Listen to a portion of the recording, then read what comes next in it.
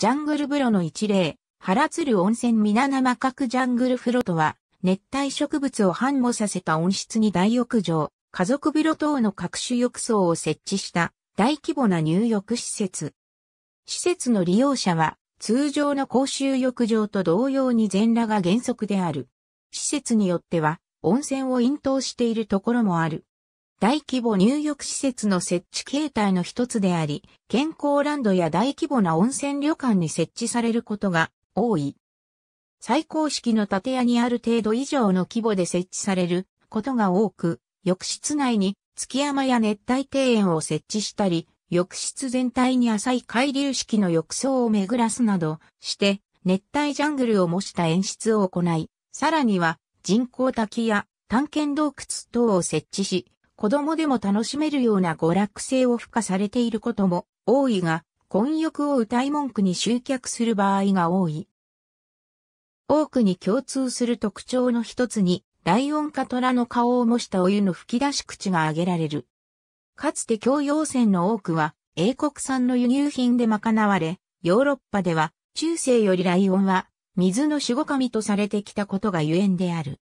景色や風情を楽しむという入浴施設という点では、露天風呂や岩風呂と共通項があるが、生きた植物を使っていて、手入れに手間がかかるため、徐々に姿を消しつつある。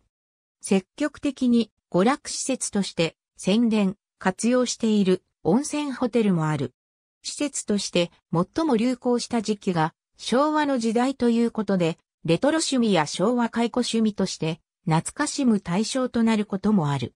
最盛期である1965年頃から1975年頃までは、ジャングル風呂を設置したヘルスセンターも各所で営業していた。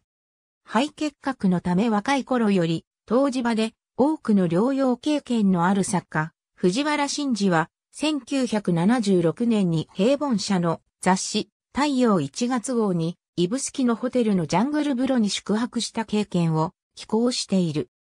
それによると、指宿は四国のすくもに似たり、よったりの偏僻なところだと思っていたが、団体向けの大きな観光ホテルがあり、駅に泊まったような想像しさで全く落ち着けなかった。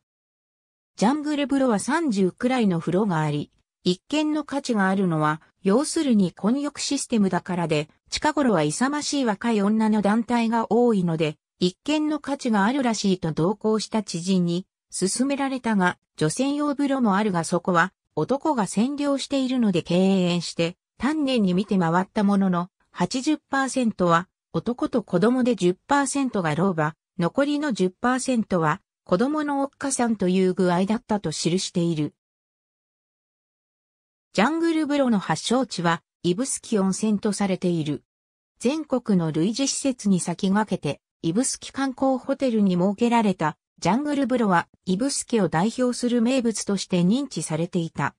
一方、鳥類学者、八須賀忠氏の熱海別邸には、熱帯植物を植えた大浴場があり、これをもってジャングル風呂の元祖とする説もある。AB、太陽1976年1月号、ナンバーワン52、九州編の温泉旅、藤原真二、武田光一、1973、カラーブックス23、九州の旅、保育者、藤森照信、荒俣博士、1987、東京路上博物誌、鹿島出版会 ISBN4 から306093034、原鶴温泉皆生角。チームソニックレーシング速報。東京商工リサーチ。2020年4月1日時点のオリジナルより、アーカイブ。2020年4月1日閲覧。得意火災事例、池の棒満月城見取り図消防防災博物館。2020年5月25日閲覧。ありがとうございます。